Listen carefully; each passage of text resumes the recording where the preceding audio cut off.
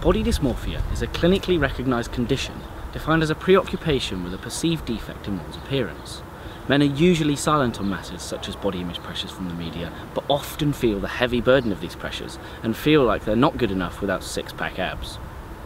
In recent years, there's been an increase in steroid use, and I wanted to investigate this and find out more about steroid use. So I sat down with Ross Eichner, who uses steroids to supplement his training, but claims there's a much healthier way to do it, which is far less damaging to your body. I am Ross Eitner, I'm 25 years old. I've been training in mainstream gyms for the past five years, but I've always had an interest in weight training. I've been doing it since I was about 12 to 13. What sort of got you into it? Was there a specific person or a specific thing that got you into it?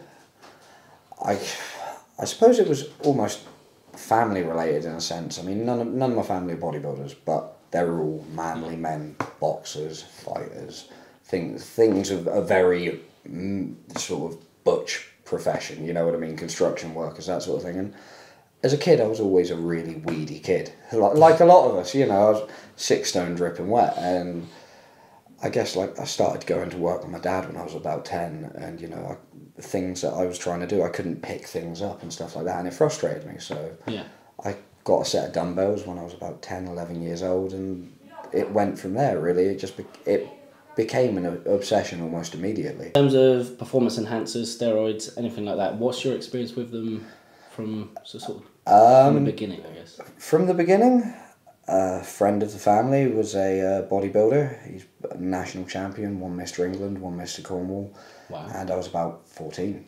And I basically plagued him day and night. I want to try steroids, I want to try steroids. And maybe he shouldn't have, you know, but he, we basically came to an agreement. I'd, I'd leave him alone if he let me try it. So my first ever experience was with testosterone cypionate, which is a sort of moderate lasting ester, so it's in the blood, in the bloodstream for about five days. And he injected me in my glute in your butt cheek, and mm-hmm.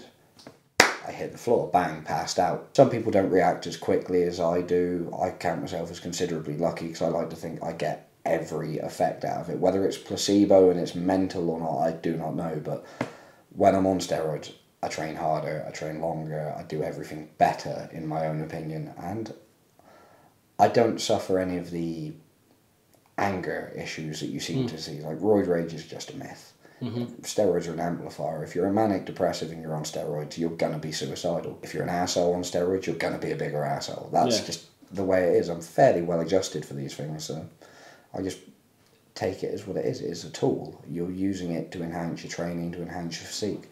Yeah. Don't let it affect you outside of No, yeah. they are addictive in a way, you know. Mm-hmm. I know lots of guys who go on and, you know, you're only meant to be on for 8 to 12 weeks tops. I know guys that are on all year round.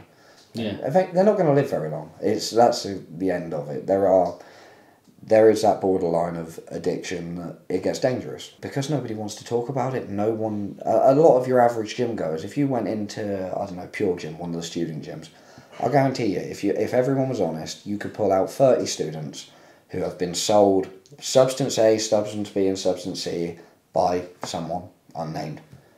Did they tell you how to take it or what to do after you stop to take care of your body? Well, no. They just told to put it in. Not just bashing students here, but I have found in previous experience they're some of the worst people, worst advocates for it. Go to the gym, they get their pump on. You know, they're getting big. They've started using gear. Six weeks later, they're huge, so they want to go out, they want to go on the pole. Next thing you know, they're out drinking 15, 20 pints and shots in a night as well, trying to attract said girl or whatever, you know. And steroids are very harmful on the liver and kidneys. Exactly the same thing that alcohol is hard on. Mm. They don't go well together. No. You do that for six months, and eventually, you know, that's all it can take is six months. And I, I've known guys who are in their twenties end up on dialysis. There's a time and a place for everything. Like mm. I'm, I would admit I'm not perfect, but if? I'm running, if I'm using steroids, I don't drink. I don't drink for a month before or a month afterwards until my body, I've done the pre-cycle and the post-cycle and got my body clean again, because you've got to make room inside yourself from one, from one substance to another. And as for people saying steroids are cheating, I, I, I think that's the most stupid sentence ever put together in the world, really, because Formula Ones or, you know, race cars, So you bolt a turbo to your car. Are you cheating? Mm. You take your car to a mechanic to get something fixed, and he uses a spanner to undo something instead of his fingers. Is he cheating? No, he's using a tool, and that's all steroids are. They're a tool.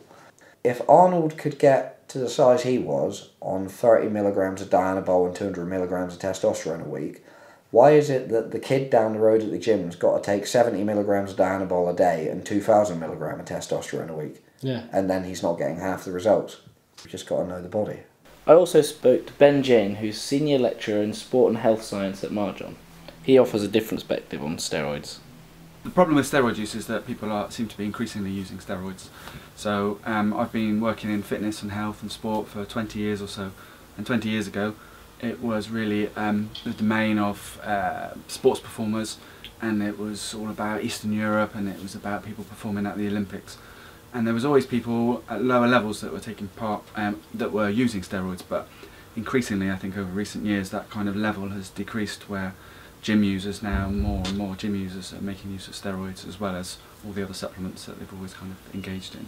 The, the, the media has been refined over the last 20 years to um, make people feel as though they should be striving personally for some perfection and control as well.